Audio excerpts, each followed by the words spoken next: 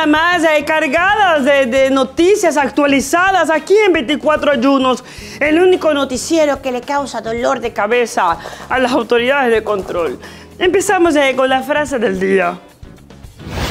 Todos quieren que les pase algo bonito en la vida, pero yo no puedo estar pasando por todos lados. Lo dije yo el día que, que te importa. Bueno, y siendo 10 eh, para ya mismo, quiero, antes de empezar, quiero decirles que hoy disfruto un té con frutas endulzados con... Sweet and low, sweet and low. Mm, Delicious. ajá, mm, Sweet. and low. Para ti, para mí, disfrútalo. Con fruta, sin fruta, café, como quieras. Ahora sí, vamos a empezar eh, con las noticias porque primero que nada quiero decir que el 9 de octubre la ciudad de Guayaquil se despertó y amaneció independiente, celebrando sus 197 años de independencia. ¡Qué maravilla! Póngame la música de Guayaquil, por favor.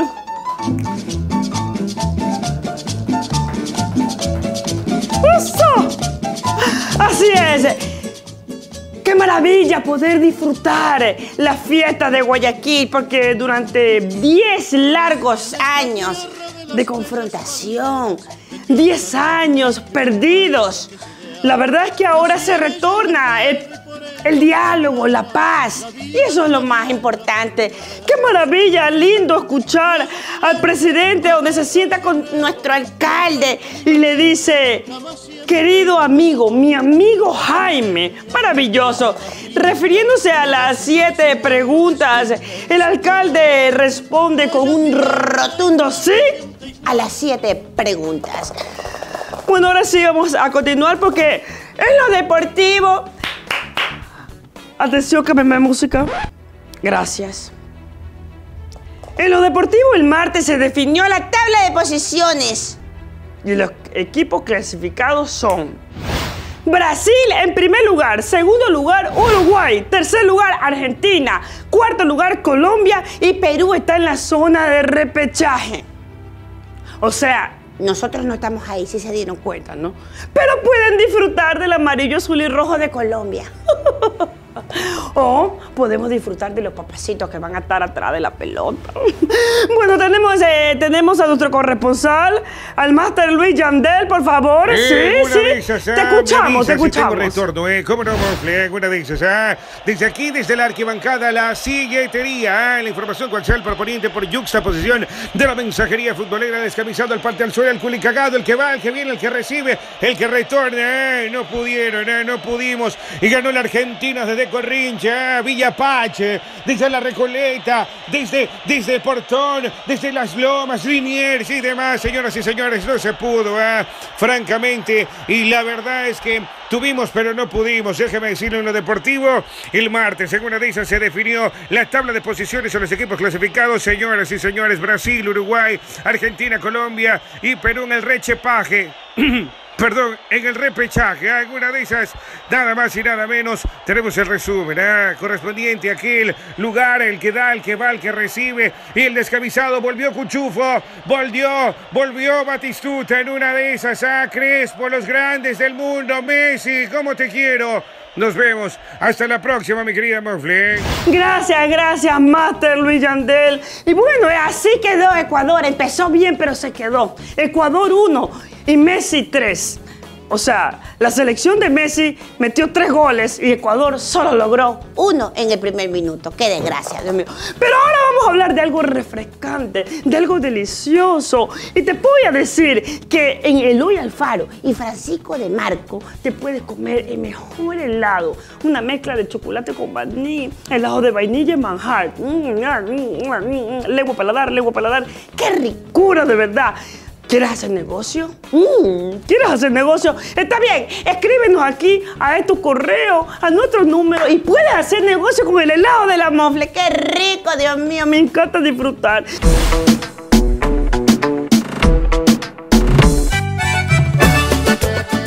Justo aquí, En Eloy Alfaro y Francisco de Marco, los helados de la Mofle. Qué ricos que son. Y yo voy a comprarme uno. Vengan a comprarlo ya.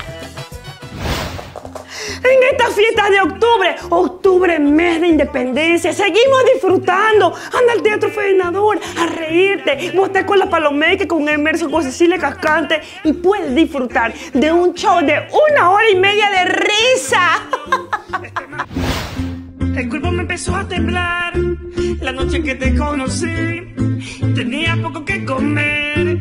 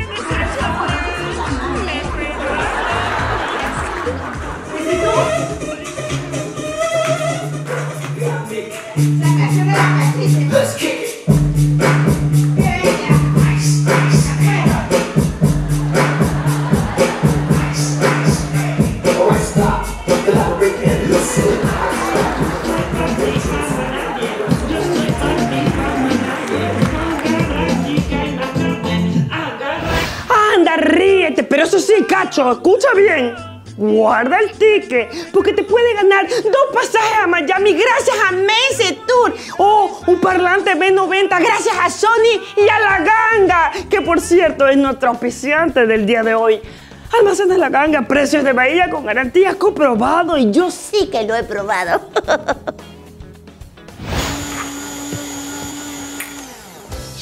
aniversario la licuadora se roba el show. Aprovecha y por tu compra más 19.99 llévate una licuadora Watson a tu casita. La ganga, precios de Bahía con garantía comprobado. ¿Ya probaste mi helado? No. ¡Qué estúpido! Ya llegó, ya está aquí, el helado de la Mofle. A tan solo 75 centavos. El helado que congela tu sonrisa. Pídelo en la tienda de tu barrio. Delicioso helado de chocolate, helado de vainilla y manjar. Mm, También tiene maní. Mm, Yo quiero uno. Quiero dos, quiero tres, quiero cuatro. ¿Dónde lo compran? Teatro Fernadoro. No hay un biólogo. ¡Qué estúpida! Ándate viernes y sábado. Y ahí afuera encuentras mi helado. Ya llegó, ya está aquí. ¡Qué rico! El helado de la Mofle. Compra.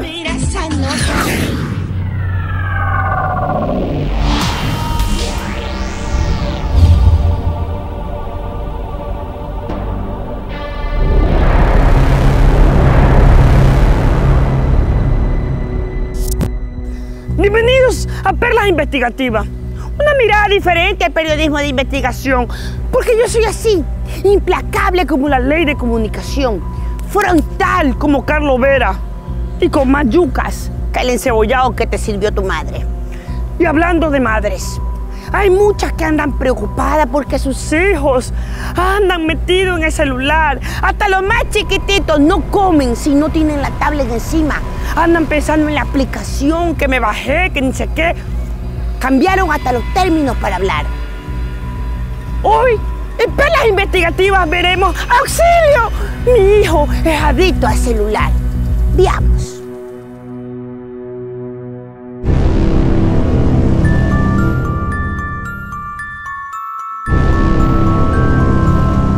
Parece que en el pasado quedó canchas deportivas, juegos recreativos, repletos de niños jugando y haciendo alguna actividad.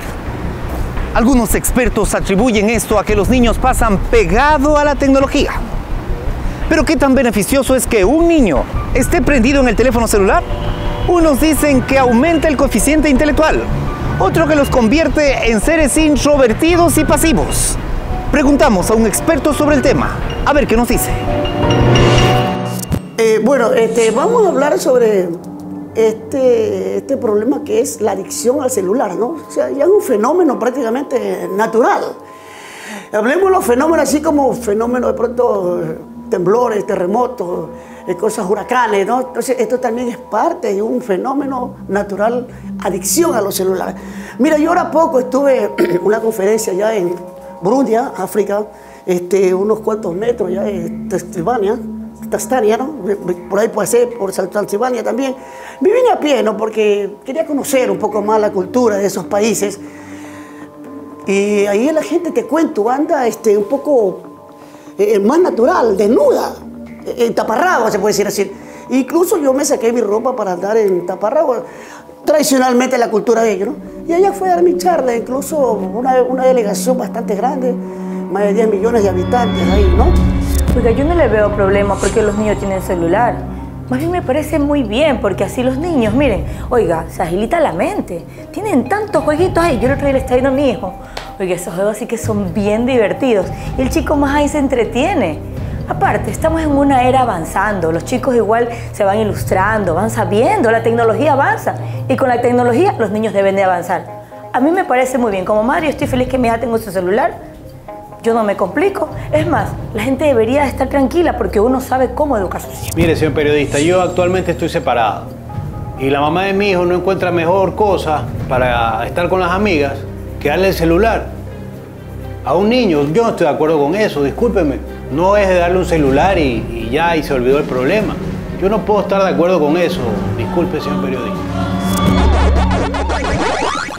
Otro lado, se estima que los jóvenes y niños abstraídos por una pantalla de celular generan serios problemas de comunicación familiar que pueden llegar a problemas de autoestima baja. Están ellos en el teléfono, les dan la tablet a los hijos, eh, los hijos tienen hambre, dale la tablet.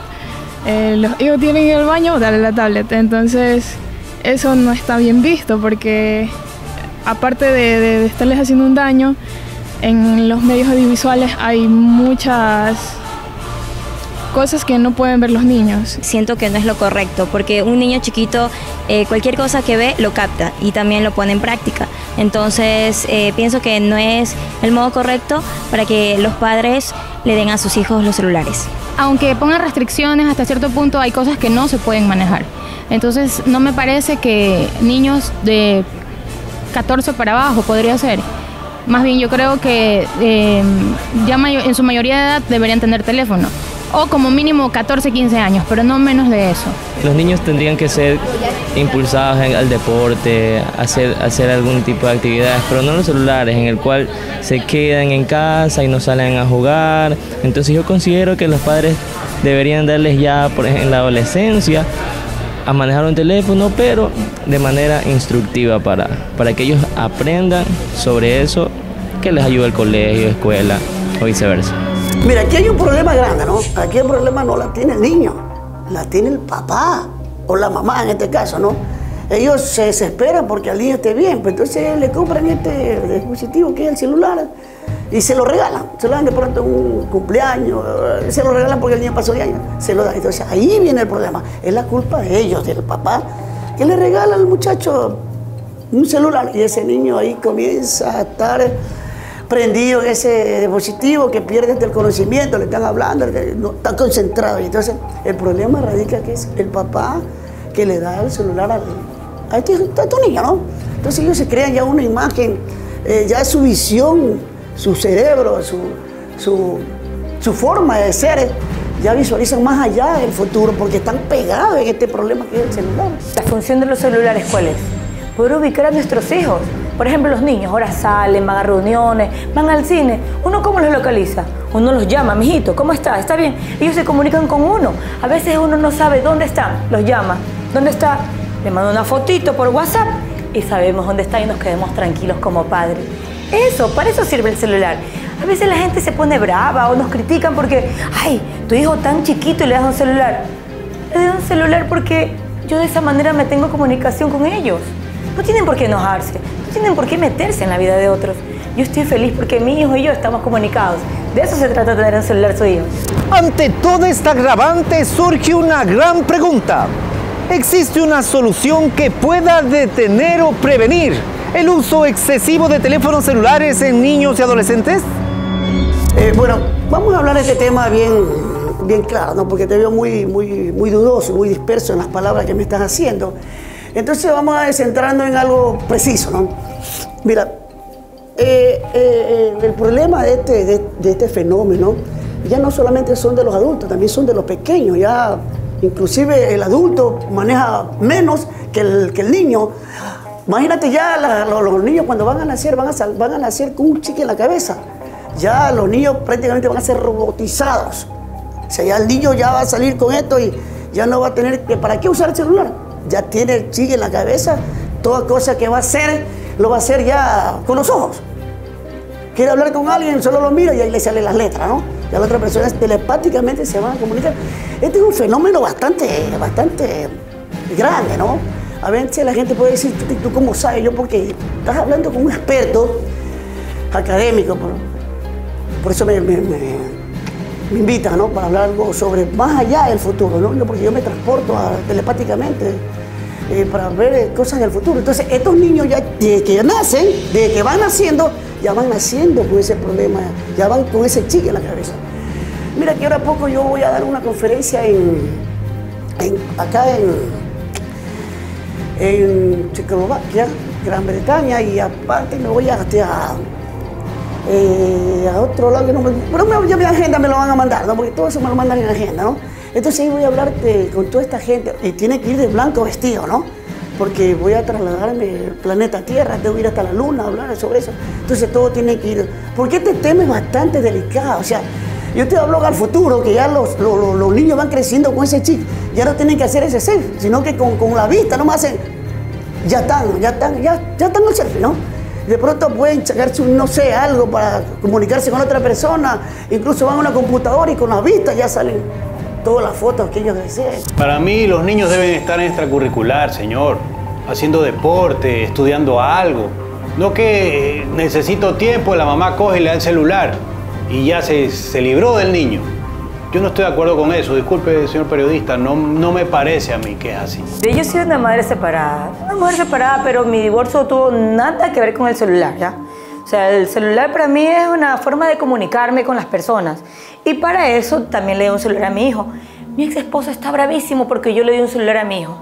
No, pues si yo le digo que esa es la manera de comunicarnos, él piensa que no, que los celulares es por otras cosas. Ahora, yo no sé si él con el celular hace otras cosas, la verdad es que ni me interesa. Esa es su vida, yo tengo mi vida y para mí lo importante es estar comunicada con mi hijo. Suficiente. Si él hace con su vida o no, la verdad es que no quiero ni pensarlo. Ya, igual eso ya es pasado, para mí ya no me importa. Para mí lo importante es que yo tengo comunicación con mi hijo, saber dónde él está y yo también decirle, mijito, estoy acá, te voy a recoger a tal hora. Suficiente. Cuando mi niño nació, ya la mamá le dio un iPad, imagínese, prácticamente. Pasó el tiempo, ya actualmente, ocho años, imagínese, ya tiene celular, todas las aplicaciones. O sea, ¿con quién se va a comunicar este niño tan pequeño? Ocho años, imagínese, no puede ser. Entonces el problema existe, es que estos niños, ¿no? Tienen ese problema que se lo dan los padres.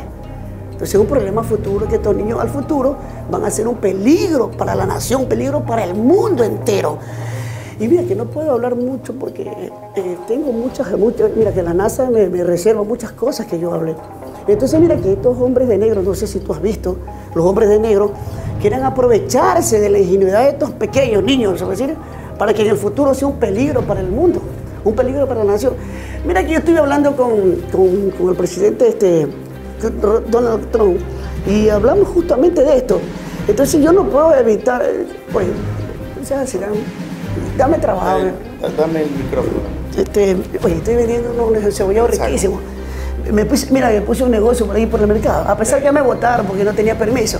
Entonces quiero sacar el permiso, el uso de suelo. Ya eso los hombres de negro y la NASA ya. Sí, pero. Dame el micrófono. No seas René, que, oye. Yo no te doy sé- la oportunidad, pero tú no te dejas ayudar. Todos los extremos son malos. Los padres no pueden prohibir a sus hijos de la tecnología. Pero bueno, el culantro, pero no para tanto. Hay que poner límites. y enseñarle a los niños que afuera hay un mundo por explorar y que se divierta. Si quieren andar con el celular, déjalo, tú escóndele el cargador y verás que cuando se le acabe la pila, él tendrá que ir a correr o a pelotear. Y eso es lo que nosotros debemos hacer. Niños felices, no niños esclavos de la tecnología.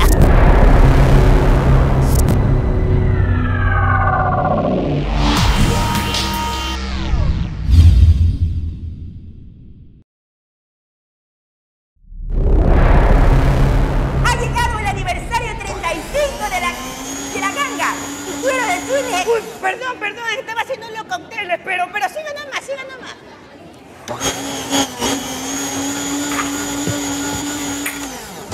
Este aniversario la licuadora se roba el show. Aprovecha y por tu compra más 19.99 llévate una licuadora Watson a tu casita. La ganga, precios de Bahía con garantía comprobado.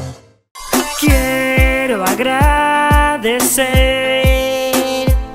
a toditito mi pueblo ecuatoriano. Gracias por creer. Juro que nunca yo voy a decepcionarlo.